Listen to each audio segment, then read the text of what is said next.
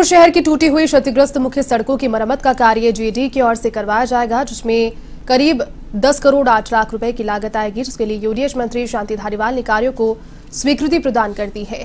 सड़कों को चिन्हित कर 9 करोड़ 27 लाख की लागत से खासाकोठी फ्लाईओवर से संजय सर्कल चांदपोल शासीनगर सर्कल से मजार dam Sikar road dam, Ambabari के पास से पानीपेश तिराहा का नवीनीकरण कराया जाएगा। सेक्टर 25 की मुख्य सड़कें, अजमेर रोड के एनबीसी और एनबीसी से केवी नंबर चार के नवीनीकरण का कार्य भी होगा। इसके लिए अस्सी लाख सत्तानवे हज़ार रूपए की लागत।